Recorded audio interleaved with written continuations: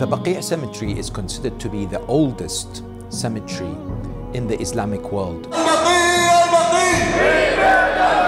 On the 8th of Shawwal, 1344 after Hijrah, April 1925, the famous shrines housing the graves of the family of the Holy Prophet, as well as the companions of the Prophet, were destroyed.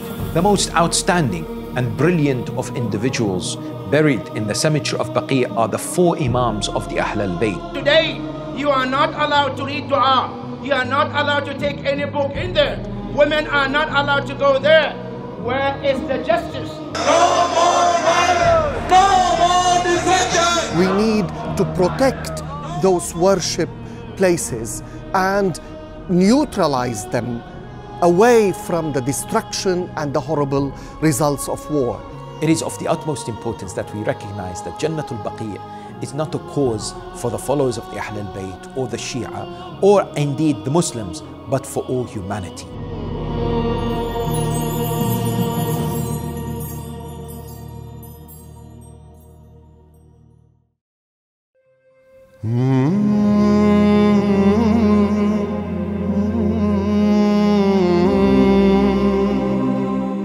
Cemetery is a place of great importance because today we are told there are more than 10,000 graves of companions and members of the family of the Holy Prophet, peace and blessings be upon them. Historical accounts tell us that after the Hijrah, the migration of the Holy Prophet Muhammad from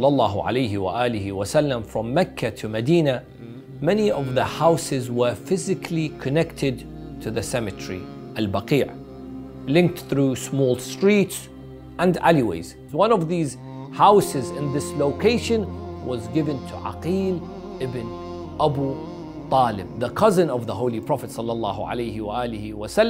This area between the Prophet's mosque and Jannatul Baqi', he had a house there, the brother of Amir al-Mu'mineen salamullahi alayh. And amongst those houses were the houses of other companions. But the prominent house here we want to discuss is the house of Aqil ibn Abu Talib. And this house was turned into the resting place for the Ahlul Bayt within Jannatul Baqi' and became known as Maqbarat Bani Hashim, the cemetery of the family of Hashim. In fact, um, we see many people in those days would pass the cemetery as for example they would leave their home to go to the Prophet's mosque. People would visit the cemetery to evaluate their life, to think about death because visiting the cemetery makes you think about the akhirah, about the afterlife and therefore it makes you humble. The Baqi' cemetery started off as a small place 80 meters squared, but today it is approximately 175,000 meters squared.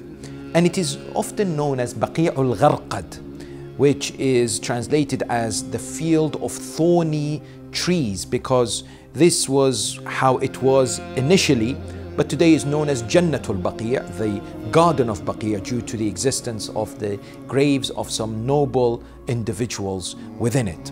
Before the migration of the Holy Prophet Muhammad wasallam to Medina, this was a vast garden on the western side of the city known as Yathrib.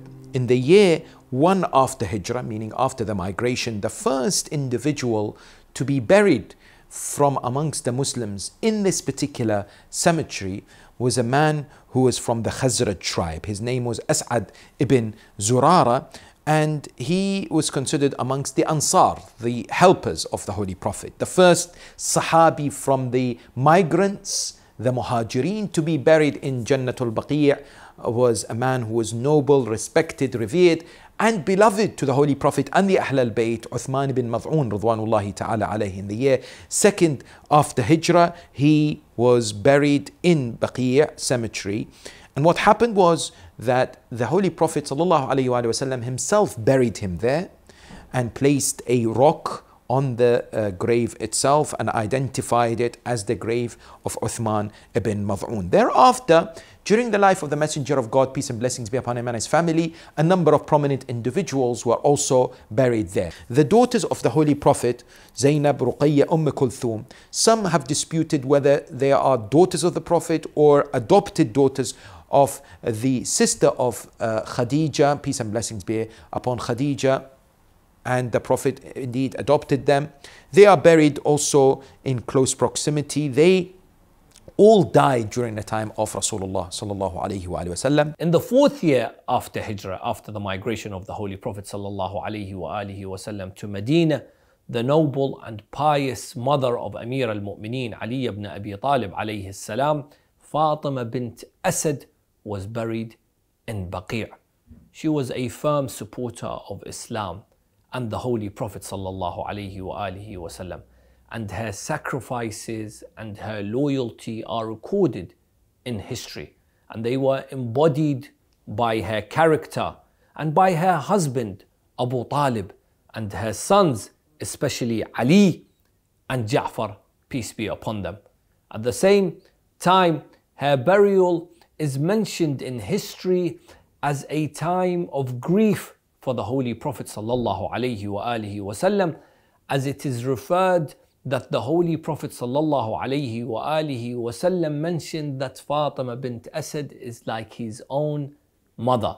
Remember, after the Prophet's mother Amina passed away when he was only five years old, and after his grandfather Abdul Muttalib passed away, the Holy Prophet was under the care of Abu Talib and Fatima bint Asad. So her demise upset the Holy Prophet, and he was present at her burial when she was being buried and he placed his own cloak to wrap her body when she passed away. The most outstanding and brilliant of individuals buried in the cemetery of Baqi are the four Imams of the Ahl al-Bayt, the error-free, sinless individuals chosen by Allah subhanahu wa ta'ala to be the leaders and sources of guidance for mankind. The first of them buried in Baqi' is Imam Al Hasan Al Mujtaba, peace and blessings be upon him, who was uh, martyred on the 7th of uh, the month of Safar in the year 50 after migration and was buried there. After him, as far as the Imams that are buried in that cemetery is Imam Ali Zain al Abidin al Sajjad, who peace and blessings be upon him. 25th of Muharram, year 95 after Hijrah, is when he was buried in that particular spot, right next to Imam al Hassan.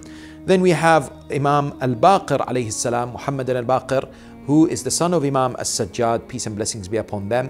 And he was martyred on the 7th of Dhul Hijjah in the year 114 after Hijrah. And finally, Imam Ja'far al-Sadiq alayhi salam, the son of Imam al-Baqir, who was martyred on the 25th of Shawwal, 148 after Hijrah and buried in that particular place. So there are four graves that are quite distinguished today that we see that had huge domes before and were visited for hundreds of years, honored by Muslims, Sunni and Shia from all over the world, are what? The main in individuals buried in this particular cemetery. Hence why four of the Imams of the Ahlul Bayt, out of the 12 Imams, four of the Imams are buried in one location in Jannatul Baqi'. Imagine the barakah.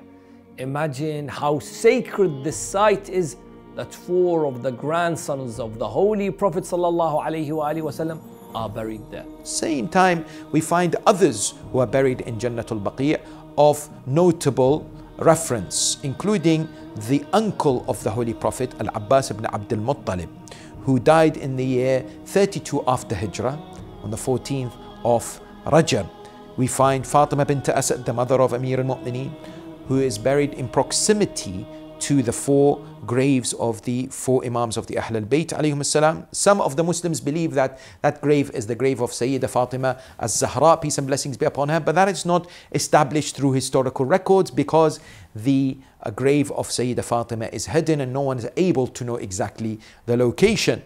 Other personalities in Jannatul Baqi' include Abbas ibn Abdul Muttalib, the wives of the Prophet sallallahu alaihi wasallam. Some suggest Ten of the wives of the Holy Prophet are buried in Jannatul Baqi', including the pious lady Umm Salama, of course. Uh, Khadija, of course, is buried in Jannatul Mu'alla in Mecca.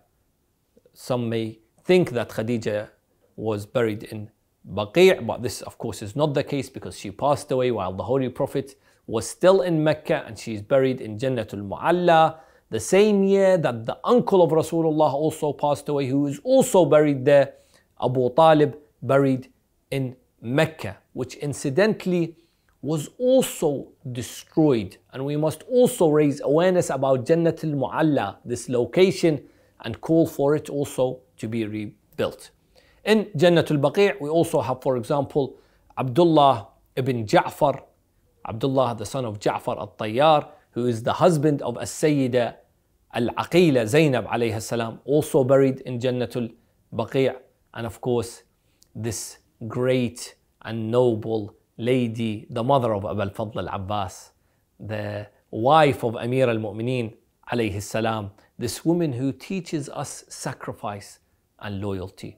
Umm al-Baneen is also uh, mentioned to be buried in Jannatul Baqi'. A key thing to understand is that the graves of the Imams, peace and blessings be upon them, today in Baqiyah, initially was the house of Aqil, the son of Abu Talib. And this was something that was common at that time for people to be buried inside houses. You see, the Holy Prophet ﷺ was buried in his house. You see, for example, the Imams of the Ahl al Bayt, the 10th and the 11th Imams, Imam al Hadi, Imam al Askari, were buried in their house. It was a very common thing.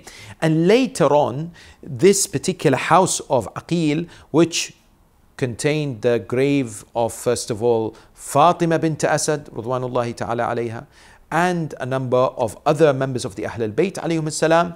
This later on became uh, a place where, of course, the domes of the Ahl al-Bayt were constructed, were visited, and were seen and documented by a number of historians who came and said that we saw visibly these particular domes on this particular site that were renovated, built from time to time by ruler after ruler.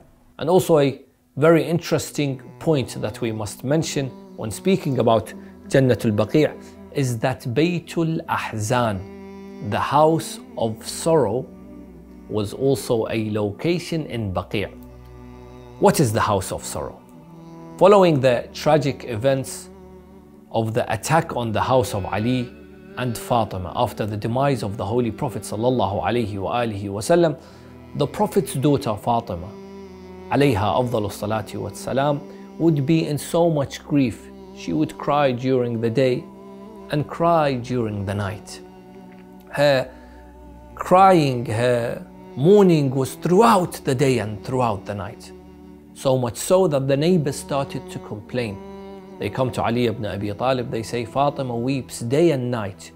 We cannot sleep at night due to it, and we cannot find respite during the day we want you to tell Fatima that either weep at night and remain silent during the day, or weep during the day and remain silent at night. Amir al Mu'mineen Salamullahi alayhi would go and inform Fatima about the complaints of the neighbors. Fatima would say, O Abul Hassan, my life among these people is very short and soon I will be departing by Allah. I shall weep constantly until I unite with my father, the Messenger of Allah. And therefore Ali ibn Abi Talib alayhi builds Fatima a house near the cemetery, Jannatul Baqi'. And he names this house, later on it's named Bayt, the house of Ahzan. And narrations mention she would take Hassan and Hussein alayhum. And she would hold their hand and she would go towards this location. Some narrations mention that there was a tree that she would sit under that would provide shade for her and her sons. The enemies would come and cut this tree to make sure that Fatima doesn't sit here. Look at the hatred that some had for the Holy Prophet and his family. She would sit there and she would mourn and she would cry and she would say صبت علي مصائب لو أنها صبت على الأيام صرنا لياليا She would address her father.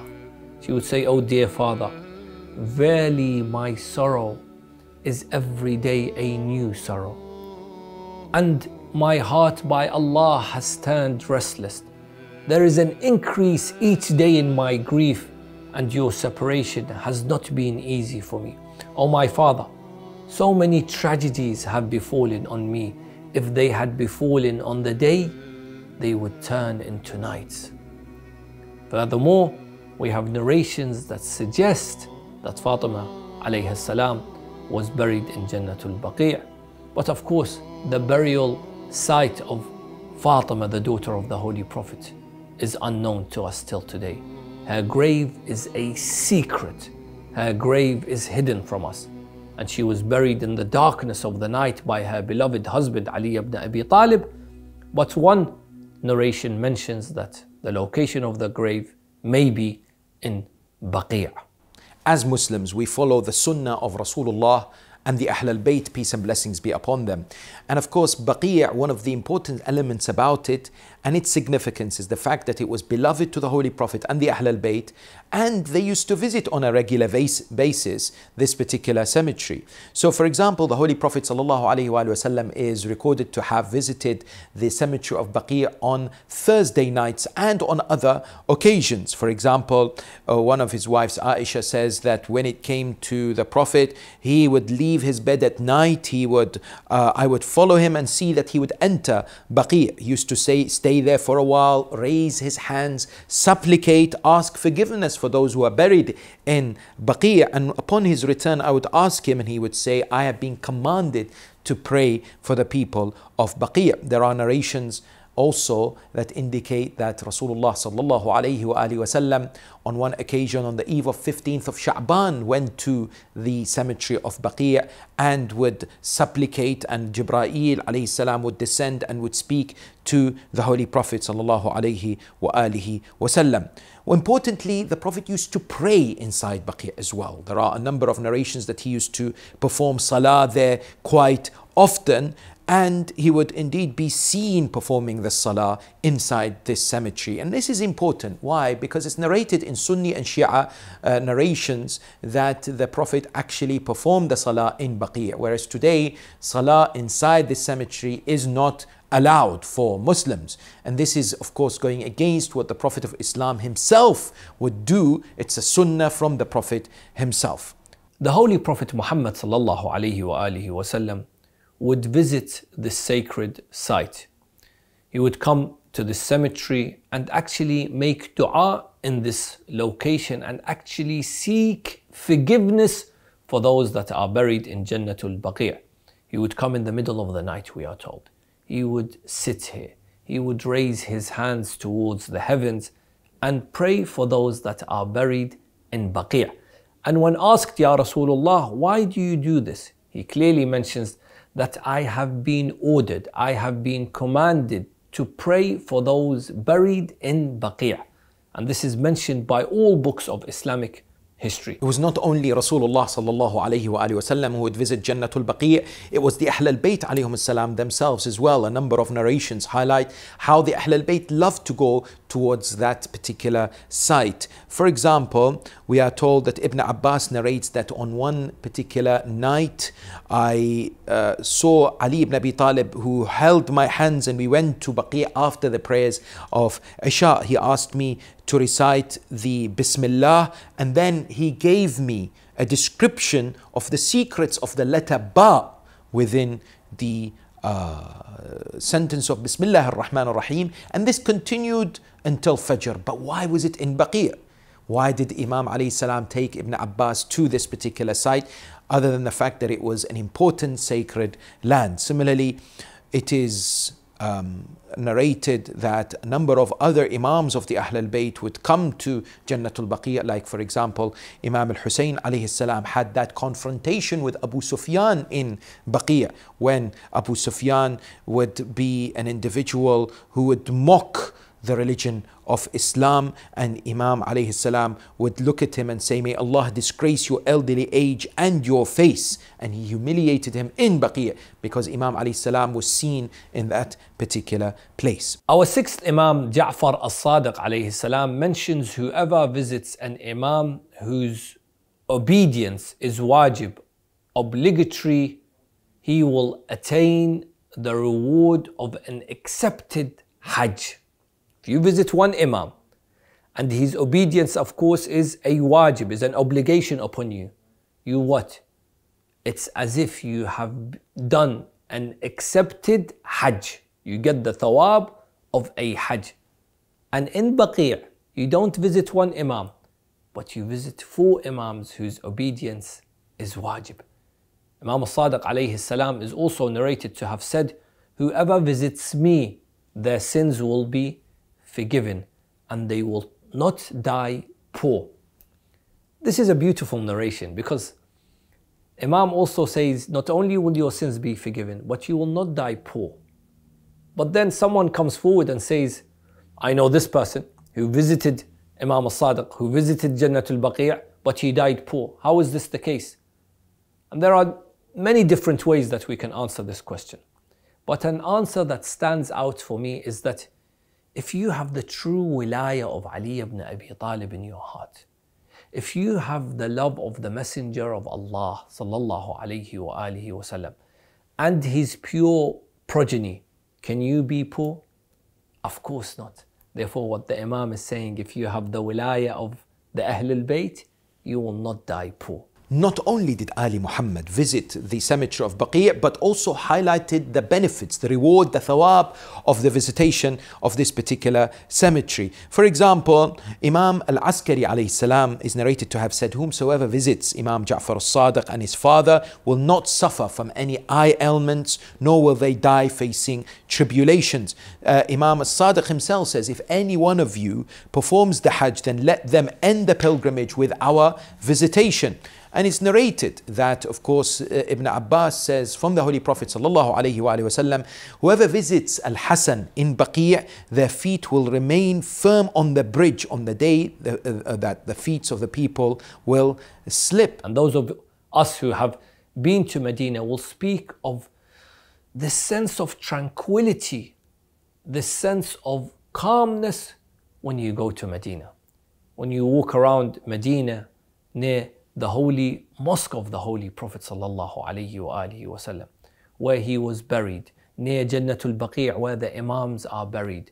Around this area, you feel the presence of the Ahlul Bayt because this location is their home. In fact, the Holy Prophet وسلم, once sees his beloved grandson Al Hasan and says to him, Whoever visits you after your death or visits your father, or visits your brother, paradise becomes wajib upon them. Paradise, Jannah, is granted to them. That particular area where there was the graves of the Imam were considered quite sacred by whom? By the people because they recognized it was respected by Rasulullah sallallahu in the, one of the oldest books or, which details the history of Medina. It's known as Wafa al Wafa. And the author is Al Samhudi. He narrates, he's a non Shia historian of Medina. He narrates from Ibn Zubala, who narrates from Khalid ibn Awsaja, who said, I was supplicating at the corner of the house of Aqil ibn Abi Talib when I saw Ja'far ibn Muhammad as Sadiq. He asked me, Are you standing here for a reason? And I said, No. So Imam al-Sadiq saw this man next to the house of Aqil which already had the grave of Imam al Hassan and Imam, for example, Imam al Sajjad and probably Imam al Baqir. When this man said, No, I'm just standing here, Imam al Sadiq looked at him and says, This is the place where the Prophet of God used to come at night to ask forgiveness for the people of Baqi'. This is exactly the place. So the Prophet ﷺ wanted to highlight the significance of the place of the burial of the Imams ﷺ in Jannatul Baqi'. The cemetery of Jannatul Baqi' today is just a little bit of dust and rocks. On the 8th of Shawwal, 1344 after Hijrah, April 1925, the famous shrines housing the graves of the family of the Holy Prophet, as well as the companions of the Prophet, were destroyed. This deliberate destruction of these holy tombs sent shockwaves throughout the Muslim world and today continues to receive attention and awareness. It's important to realize that the cemetery of Baqi has gone through two destructions and not one. Because many a times people refer to the latest one, which happened in 1925, whereas a study of historical accounts show that it was actually destroyed on two occasions. If we look at the, uh, the uh, time of April 1801, we find that the Saudi army, supported by the Wahhabi movement, invaded Karbala and mercilessly attacked the shrine of Imam al Hussein and his brother Abu al Fadl Abbas. They caused severe damage. They left. They tried to do so the next year, but the inhabitants of Karbala were able to protect the shrines. In that second year, after the attack to Karbala, the army invaded Mecca. They entered the city they destroyed mosques and historical sites, as well as the famous cemetery of Al Mu'alla. They brought down the domes that were erected for hundreds of years over the graves of noble people such as Khadija and Abu Talib, salamullahi alayhim. And they destroyed the site of the birth of the Holy Prophet Muhammad sallallahu alayhi wa wasallam. Allah subhanahu wa ta'ala in Surah Al-Baqarah mentions ومن أظلم ممن منع مساجد الله أن يذكر فيها اسمه وسعى في خرابها who is greater? Who is the greater wrongdoer than him who prevents the names of Allah being mentioned, i.e. praised in the mosques of Allah and strives towards their destruction? Allah says, such people may not enter them except in fear. For them in this world is disgrace and they will have in the hereafter a greater punishment. Furthermore, it's important to understand that this cemetery isn't for Shia only. It is for all Muslims. And I would argue for all of humanity. These graves are places of respect and sites of worship, and therefore the reconstruction of Jannatul Baqi' will bring about Islamic unity and demonstrate that Muslims respect one another and more importantly, respect the Holy Prophet wasallam and his holy family. Peace and salutations be upon them all. In 1805, this army moved from Mecca towards Medina. And throughout the process of 18 months, they looted the city. They destroyed what they wished, and amongst the places in which they destroyed was the Baqi' cemetery. They, for example, took away all the gifts that were presented to the shrine from various kings and dignitaries. They erased all the shrines to the ground in the cemetery. And that was the first destruction of the cemetery. This destruction caused uproar in the Muslim world. And eventually, the Ottomans were able to attack and drive the army out of these particular cities. And the shrines were rebuilt once again, the domes were rebuilt once again. But unfortunately, in 1925, and uh, again uh, over a year after Mecca had fallen, the Saudi army entered Medina. This was led by Abdul Aziz al Saud, and because of the fear of the backlash of the Muslims, initially the Baqi' cemetery was not destroyed. But after within a period of five months, he commanded one of the jurists to issue the edict allowing the destruction of the tombs and the shrines in Medina. The jurists arrived in Medina in the month of Ramadan 1344 and they then issued this edict which resulted in the army moving towards the cemetery.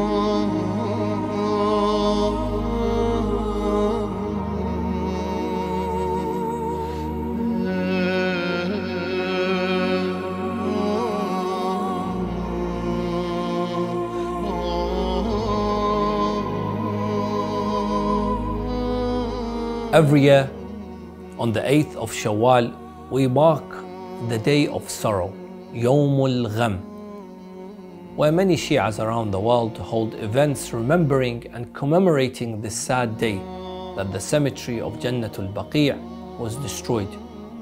Many Muslims come out on this day to protest the destruction of Jannatul Baqi'. O sons of Al Saud, what have you to do with the sons of Fatima, the ones whose father was born in the direction of your sujood? What is it you want from them? What is it you have not made clear? You have already violated the sanctity of Allah when the coverings over their graves you cleared. They are the martyrs of Islam. They are the foundation of the land, yet they're buried beneath your rubble and not a plaque is left to stand.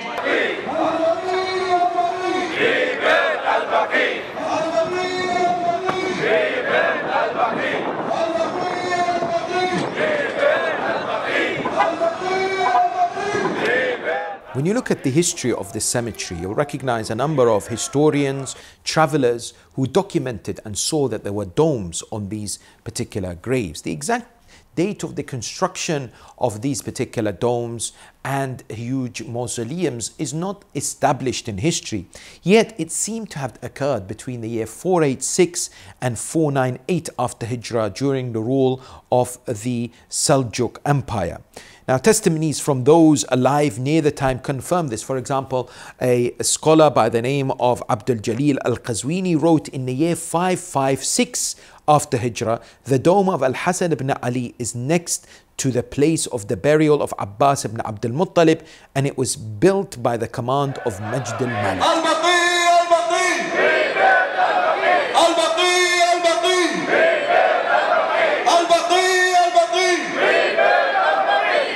Throughout history, many scholars and many human rights activists have tried to call for the rebuilding of Jannatul Baqi'. For example, Allama Sheikh Abdul Rahim Al Ha'ari or Sayyid Musa Al Sadr and Ayatollah Sayyid Hassan Al Shirazi in the late 60s. It is mentioned that he would uh, campaign and gather support to place pressure on the Saudi authorities to rebuild Jannatul Baqi'. He personally spent many years to try and gain support for this movement.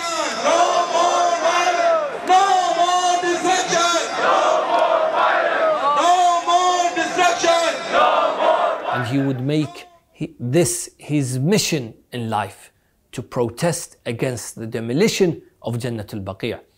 Some eyewitnesses mention that Sayyid Hassan would always in every gathering speak about the importance of rebuilding Jannatul Baqi'. And Sayyid Hassan in fact was able to meet the king at the time, I believe King Faisal, and present him with evidence why Jannatul Baqi' should be rebuilt. However, this wasn't done. Many extremists that were around the king many of those involved in the politics in those days did not allow for the rebuilding of Jannatul Baqi'. And of course, Ayatollah Sayyid Hassan al-Shirazi was killed in 1980 at the hands of the Ba'athist regime who had sent someone to kill him while he was in Beirut. This is one day and one era in history. I ask you to turn back the hands of time to come to a different era. The era and the time is April 21st, 1925. The city is Medina in Saudi Arabia. There is destruction that takes place at the hands of the Saudi regime and levels the cemetery of Baqi to the ground. 94 years on, not a single promise has been made to rebuild this site by these people. When someone asks a question, whether something is shirk or not. We have to immediately respond by saying, What is the definition of shirk? Shirk is when an individual associates a partner with Allah subhanahu wa ta'ala. The reality today is if we look at the Muslim world, there are many places in which Allah subhanahu wa ta'ala is worshipped and within it there are graves. And nobody is worshipping those individuals in their graves. Everybody is worshipping Allah and Allah subhanahu wa ta'ala alone. These particular places of worship exist in so many countries around the world. Many of them are Muslim countries For example, in Turkey, for example, in Morocco, for example, in Tunisia, in Egypt. There are many, many places of worship which have graves in them. And there is no evidence whatsoever from reliable narrations from the Holy Prophet وسلم, that prohibits the prayer in an area where there is a grave.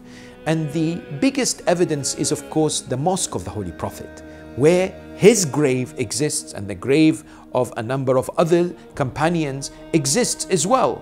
Whereas nobody says you are not allowed to pray and worship Allah there.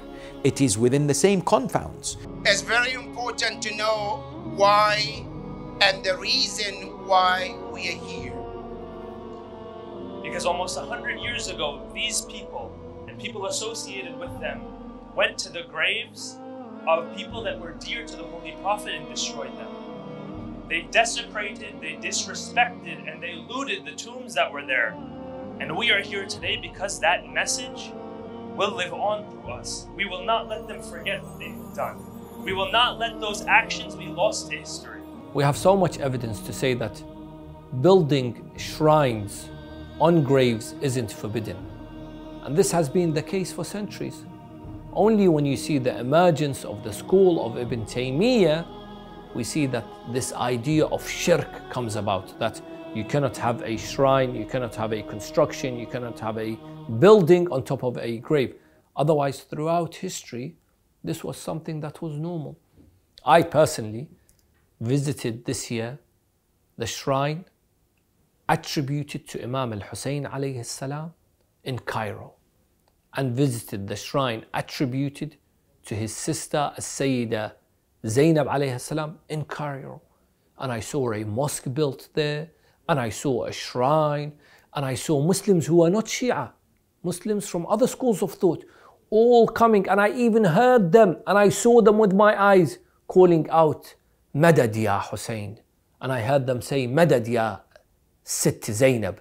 They were asking for help. And when I asked them, I said, How are you asking for help from someone that's died? They said, We are asking Allah through these holy personalities. Not far from you here, how many monuments we have in Washington? How many monuments? Celebrating, paying tribute, respecting to the leaders who built this nation. But look what Saudi Arabia does on the contrary. The house where a Prophet Muhammad was born is demolished hundreds, rather thousands of historic sites, religious sites, spiritual sites that belongs to all Muslims have been eliminated and destroyed and demolished by the kingdom of Saudi Arabia.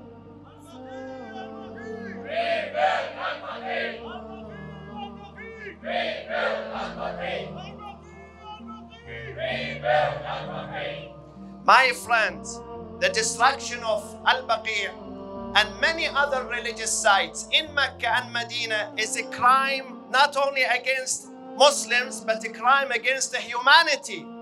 It's a crime against the humanity. Al Baqi' has to be restored, and many other monuments have to be restored.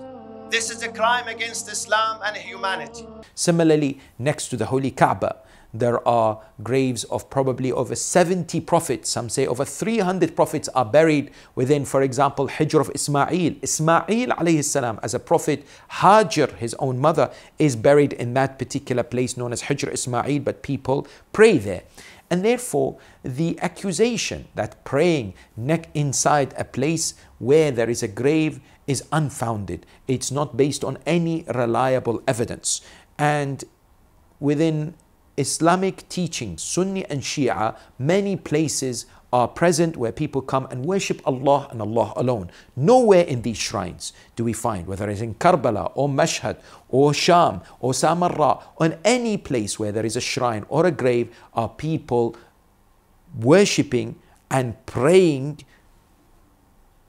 towards an individual, considering that individual to be a God who they associate with Allah subhanahu wa ta'ala. It's all about monotheism, it's all about tawheed. And this idea that was brought forward and espoused by Ibn Taymiyyah, developed by Muhammad ibn Abdul Wahhab, that prohibits the building of shrines uh, and the worship inside areas where there's a grave is an innovation in itself. It's something that is constructed from the minds of this particular individual. Extremist way of showing it, but also today used by terrorists to blow up places of worship. Innocent people are killed in the name that they are using, trying to use Tawheed as a justification, but they are far away from monotheism and this whole pure concept of the oneness of God. For example, in Surah Al-Kahf, when the people found Ashab al-Kahf, they had been buried in this location, they disputed, Allah mentions this in the Quran, they disputed amongst themselves about this matter. Then a group of them said, let's what? Let's build a building, a shrine over them. And those who had their say in this matter said, we will set up what? A place of worship over them. قال الذين غلبوا على أمرهم لنتخذن عليهم مسجدا We will what create a masjid on top of these graves. If there was anything wrong with this, Allah would have said this is shirk in the Holy Quran. Today, another example, today the station of Ibrahim known as Maqam Ibrahim. Allah says this station is a place of prayer. This place where today you go to the Holy Kaaba and you see this location known as Maqam Ibrahim where Ibrahim alayhi salam stood to build the Holy Kaaba. And you see the footprint which re represents the station where Ibrahim alayhi salam stood and it's quite a big footprint. Those of you that have visited uh, the Holy Kaaba and seen Maqam Ibrahim, the first thing you will notice that it's quite a big uh, maqam and the actual footstep is quite big. And Allah subhanahu wa ta'ala in Surah Al-Baqarah that this station is what? Is now a musalla, a place of prayer. These are all signs of Allah subhanahu wa ta'ala which we must honor, we must respect. And if there was anything wrong, the Holy Prophet would not visit Jannatul Baqi'. If there was anything wrong, Allah subhanahu wa ta'ala would mention in the Quran that, oh, you people who built this mosque on top of the people of the cave, you must destroy it. Allah mentions we must honor the signs of Allah as this brings humbleness to the heart. ذلك ومن يعظم شعائر الله فإنها من تقوى القلوب. Therefore, it is a demand of every Muslim, of every human that we protest against the demolition of Jannatul Baqi' and call for the rebuilding of Jannatul Baqi'. Furthermore, those of us who want to visit these shrines, we must be allowed to visit them. Those who want to show respect, those who want to show their love to these personalities, those who want to show their honor to these personalities, who are what? Who are the grandchildren of the Holy Prophet. They must be respected. And those who want to seek nearness to Allah through these personalities, they must be allowed to do so. We must be allowed to do the ziyarah of Jannatul Baqi' and stand next to these graves and pray next to these graves to Allah subhanahu wa ta'ala and ask for intercession through these personalities.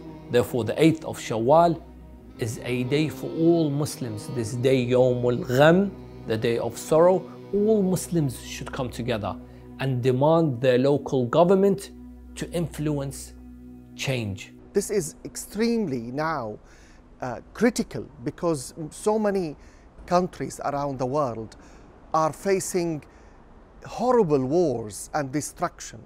And usually, people during wars target worship places because they know that those places are focal points for many communities and they, they are linked together in an emotional way because they carry their memories, they carry part of their identity.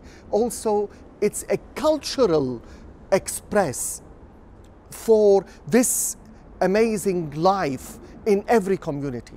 Because of that, we need to protect those worship places and neutralize them away from the destruction and the horrible results of war.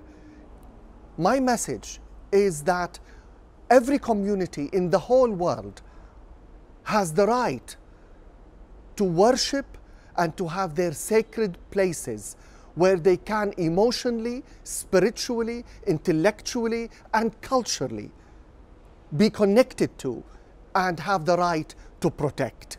It is of the utmost importance that we recognize that Jannatul Baqi' is not a cause for the followers of the Ahl al-Bayt or the Shia or indeed the Muslims, but for all humanity. Here we are talking about a sacred place, which is one of the oldest places in history, but it has so much value to Islam and Muslims.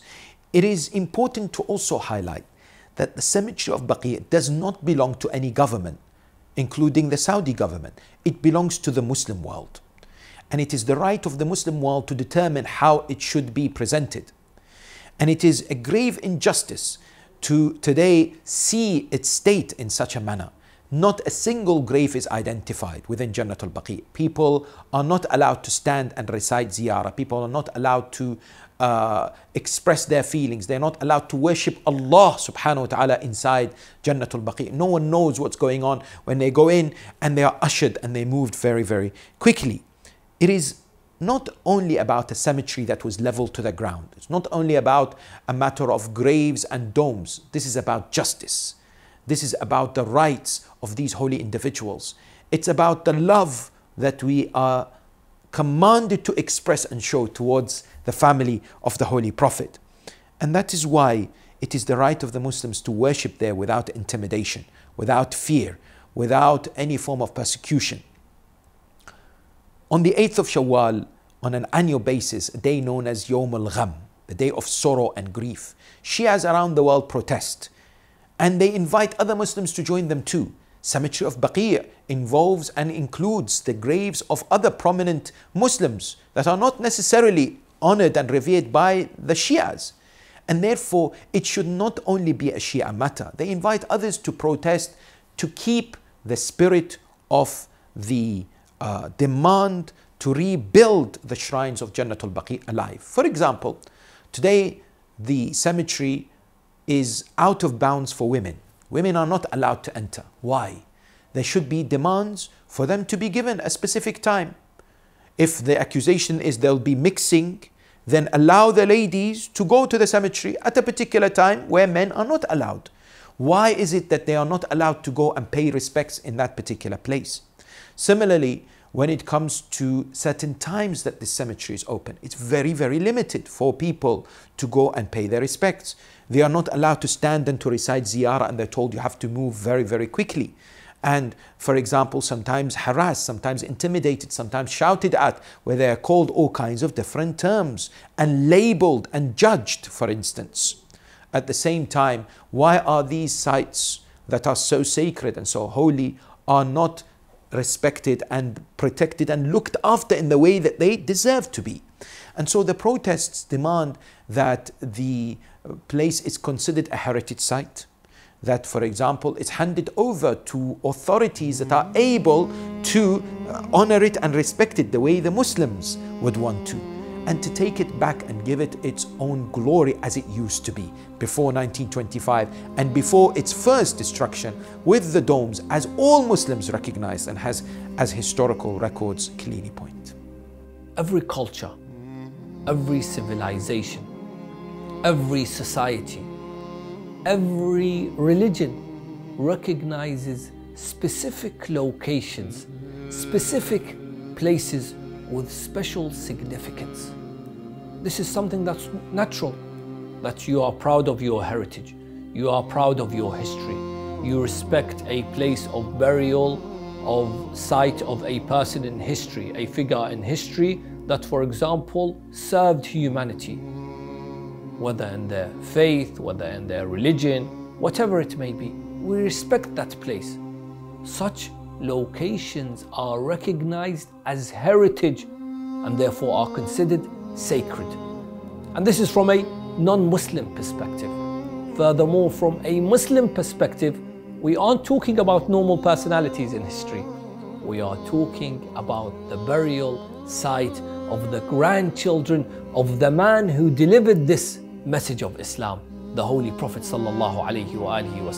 We are talking about the grandson of the Holy Prophet Imam al-Hasan al-Mujtaba alayhi salam. We are talking about the adornment of worship Imam Zain al-Abidin alayhi salam.